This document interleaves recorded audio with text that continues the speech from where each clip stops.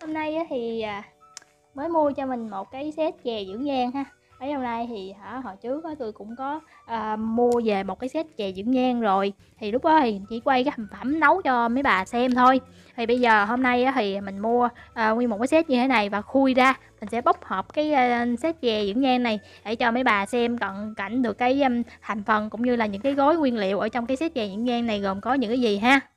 Đây để bóc ra cho mấy bà xem nha à, nói chung là hồi trước thì tôi cũng có quay một cái video à, về cái um, cái nồi à, chè dưỡng nhan rồi.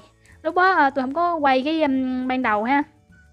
Bây giờ thì quay nguyên cái set để coi có nó gồm có những cái à, nguyên liệu nào cho cái set chè dưỡng nhan này ha.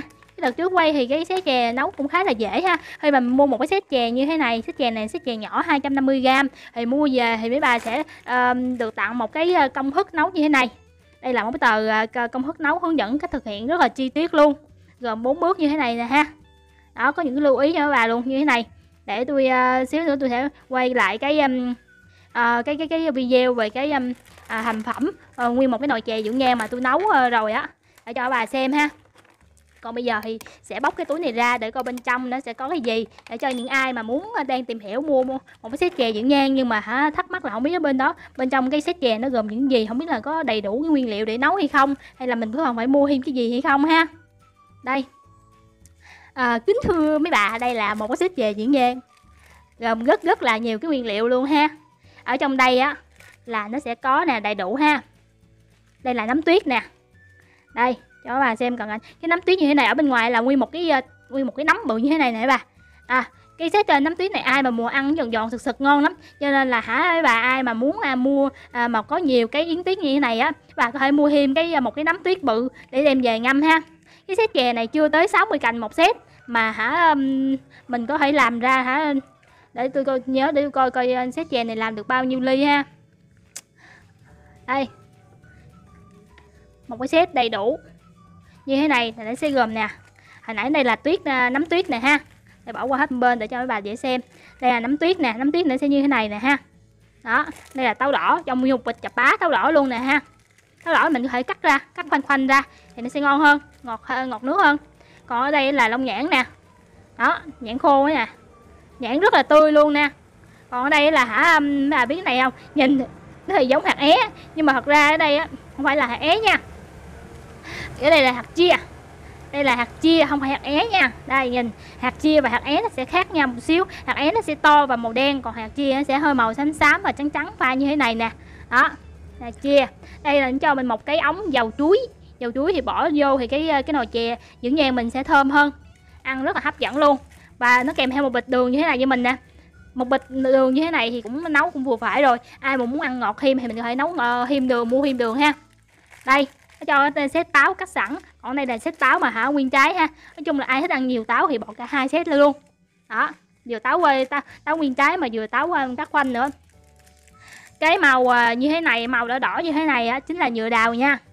Đây để quay cho bà xem để biết cái nhựa đào như thế nào. Đây như thế này thấy dễ hơn ha. Đây là cái nhựa đào. Nhựa đào nó sẽ cái màu cam cam nó đỏ như thế này. Đó. À cái trong một cái set 250 g thì nó cho mình hai bịch. Hai hai bịch này là hai bịch uh, um, hạt sen khô ha. Hạt sen khô hạt sen khô. Đó để tôi, tôi bóc ra hết để cho bà biết có gồm gì đã là hai tôi chỉ hướng dẫn cho bà cách nấu. Còn ở đây là bồ mễ nè bồ mễ là cái gói màu trắng như thế này và hạt lép lép như thế này nè mỏng mỏng như thế này chính là bồ mễ ha. Đây đây là bồ mễ. Còn ở đây á, là sẽ là tuyết yến. Tuyết yến sẽ là màu trắng như thế này đục màu trắng hơi đục đục vàng vàng như thế này. Đó là tuyết yến ha. Tuyết yến thì nó cho như thế này nè. Tuyết yến là khi mà à, mình ngâm ra ngâm ra thì nó sẽ kéo sợi ha. Nhưng mà để tôi chỉ cho bà quý bí quyết mà nấu mà để cho tuyết yến nó sợi ngon chứ không có bị uh, nhừ ra ha.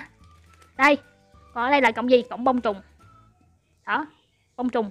Bình thường người ta có sẽ có đông trùng hà hảo còn đây là bông trùng. Nó cũng giống như vậy thôi nhưng mà cái chỉ là cái những cái cộng thôi. Cái cộng thôi chứ không phải là cái cái cái nguyên cái rễ của nó ha. Này là cộng này là bông trùng. Mình ngâm ra thì sẽ nở ra ha. Rồi để cho mấy bà biết được cái cái nào ngâm như thế nào ha. Đây nó sẽ để cái thông tin như thế này nè. À, tuyết yến thì bà ngâm cho tôi một lít nước. Ngâm trong một lít nước ha ngâm một lít, lít nước trong vòng 12 tiếng. Có ba loại là mình sẽ ngâm trong vòng 12 tiếng. Đó là tuyết yến nhựa đào và bồ mễ. Đây nhựa đào bồ mễ và cái um, tuyết yến. Ba cái loại này thì mấy bạn ngâm cho tôi trong vòng 12 tiếng ha. Ba loại này là ngâm trong vòng 12 tiếng nè ngâm lâu nhất. Tiếp tục ngâm từ 2 đến 3 tiếng là mình sẽ ngâm nấm tuyết trái táo và táo khoanh. Đó ba cái loại này táo táo nguyên trái táo khoanh và nấm tuyết. Mình sẽ ngâm trong vòng 3 tiếng từ 2 đến 3 tiếng và ngâm nhiều nước cho tôi nha. Nhiều nước để nó, nó nở ra thì nó mới, mới được được mới nở ra. Nó không có bị sượng được ha. Và cái thành phần là cuối cùng cái nguyên liệu mà cuối cùng mình ngâm chỉ trong vòng một tiếng là mình có thể nấu rồi. Đó là lông nhãn nè. Lông nhãn. Bông trùng. Lông nhãn bông trùng. À bây giờ thì tôi mới phát hiện là cái bịch của tôi nó thiếu kỹ tử ha. Nó thiếu kỹ tử cho nên là nó thay cho tôi được hai bịch uh, hai bịch hạt sen. Đó hai bịch hạt sen. Có kỹ tử thì bạn ngâm một tiếng. Kỹ tử là những cái hạt màu đỏ đỏ như thế này nè. Đây cho bà xem những hạt đỏ đỏ mà ở trong cái than thuốc này kia là mình sẽ có. Rồi còn cái cái cuối cùng mình cho vào cái nồi mà mình không cần ngâm đó, đó là hạt chia. Hạt chia sau khi mình nấu xong thì mình cứ cho vào thôi. Mình tắt bếp mình cho vào để xíu quậy đều thì hạt chia sẽ nở ra bình thường thôi mình không cần ngâm ha còn hạt sen hạt sen á, thì mình cho vào nồi hầm đến khi mà chín khoảng tầm 30 đến 45 phút thì mình rớt vớt ra mình xả lại với nước ha.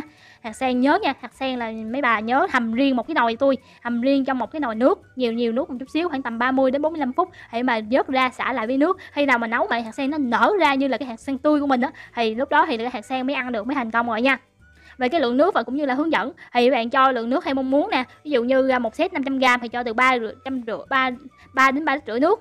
Còn cái set của tôi nè tập trung vào cái set tôi 250 g 250 g thì mình cho từ 1 lít đến 1 lít rưỡi nếu mà mình, mình có thể cho một lít nước thôi. Còn mấy bạn nào mà muốn mua thêm nấm tuyết về nấu thì bạn cho tôi vào một lít rưỡi nước ha. Nấu sôi thì uh, nấu sôi nước thì mình cho táo đỏ vào nấu trước để cho nó táo đỏ nó mềm cũng như là nó ngọt nước xong rồi tiếp tục nè mình cho heo hữu tự nè đông nhãn kỹ tử nấm tuyết nè bông trùng nè táo khoanh vào nấu sau 10 phút nè. Đó sau đó mình cho nhựa đào bồ mỡ nói chung là công thức thì là bốn bước. Xong rồi mình nấu xong cái nồi chè nồi chè dịu nhan này á thì mình để nguội nhớ để nguội rồi, rồi mới cho vào trong ngăn mát tủ lạnh.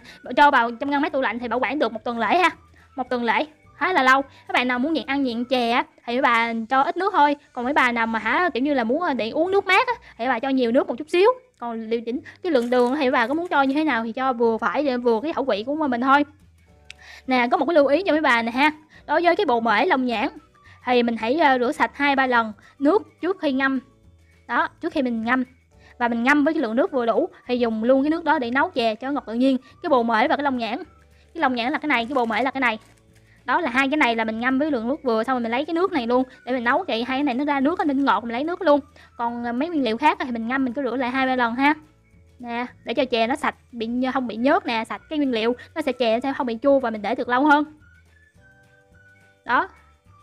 Cái ờ, set nguyên liệu thì tôi để dưới cái đường link uh, cho dưới cái video ha bà nào mà mua cái muốn mua cái set nguyên liệu này á thì mấy bà nhấp vào đường link bên dưới video của tôi nè bà mua dòng set bà nào mà hả sợ nấu không được hay là sợ cái gì đó không chưa nấu à, chè bao giờ á thì bà có thể mua cái gối như của tôi nè à, 250g chưa đến 60 cành một à, set như thế này. Thì à, mấy bà mua về mấy bà nấu ha. Nói chung là nấu thì cũng khá đơn giản thôi còn đơn giản hơn cái nồi chè đậu xanh nữa. Đó thì à, à, nấu về để cho bà con cô bác nè gia đình mình cùng thưởng thức với nhau nè ngồi ngày ví dụ như nấu vào canh ngày chủ nhật cuối tuần nè à bây giờ tôi mới phát hiện nha. Tôi có một bịch kỹ tử nè, mà tôi tưởng tôi tưởng đâu bị thất lạc ở đâu. Ai về bịch kỹ tử nằm ở dưới đây? Đây, nằm ở dưới cái miếng giấy nè, bây giờ tôi mới phát hiện. Đây, kỹ tử là cái hạt như thế này nha bà. Đó cái hạt màu đỏ như thế này là kỹ tử ha. Đó có thành phần nguyên liệu thì đầy đủ. Rồi bà mua thì mà mình nhấp vào cái đường link bên dưới tôi để á. Bà mua về tại cái chỗ tôi thì nó uy tín tại tôi cũng mua nhiều lần ở chỗ này rồi. Mà cái giá là nó sẽ nó rẻ nhất được những so với những chỗ khác mà nguyên liệu thì cũng tươi mới sạch nữa. Cho nên bà mà cứ yên tâm nhấp vào cái đường link bên dưới và mua ha. Rồi cái bài review của tôi tới đây là hết thúc rồi đó. Các bà nhớ dành tặng tôi một nút like cũng như là nhớ nhớ đăng ký kênh để ủng hộ tôi cũng như là theo dõi đón chờ những video mới nhất bà về những cái bài review của tôi à, sắp tới nữa nha. Rồi chào tạm biệt mấy bà nha.